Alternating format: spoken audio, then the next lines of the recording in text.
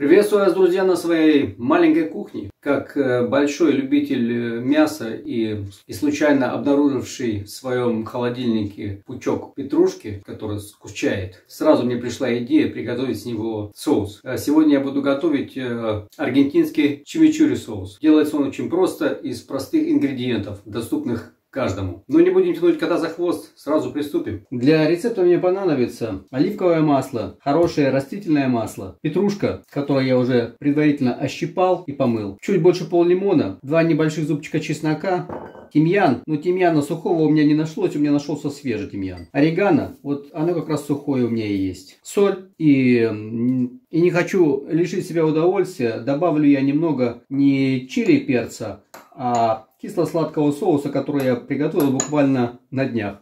Э, ссылку на него вы найдете на моем канале. После того, как соус будет готов, то я еще добавлю пару лавровых листочков. Я мелко нарезаю чеснок, снимаю цедру лимона. Лимон я предварительно ошпарил кипятком и протер сухой салфеткой убираю в сторону, сразу выдавливаю сок лимона. Если у вас нет лимона, вы прекрасно можете добавить уксус. Добавляю сюда часть растительного масла и часть оливкового масла.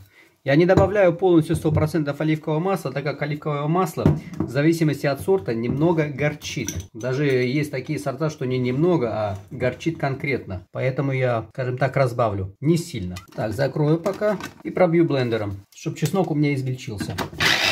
Так, отправляю сюда орегано. Ну, орегано у меня буквально одна столовая ложка. С веточек тимьяна снимаю только листики.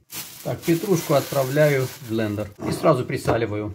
Добавляю свой свит чили соус. Остроты вам не обязательно добавлять. Если вы хотите, вы точно так же можете добавить и просто перец чили. Или каенский перец. Или черный перец. И все это перебиваем.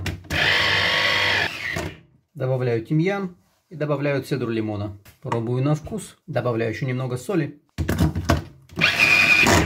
Ну вот и все, друзья. Мой соус готов. Хранить такой соус э, в плотно закрытой посуде вы можете э, смело 7 дней, а то и больше. На этом я с вами прощаюсь. Если вам понравилось это видео, оставляйте свои комментарии, ставьте лайки. Не забываем подписываться на мой канал. А я вам желаю всего самого наилучшего. До новых встреч. Да, как говорится в поговорке, умная мысля приходит опосля. Э, главного я вам не сказал и не показал.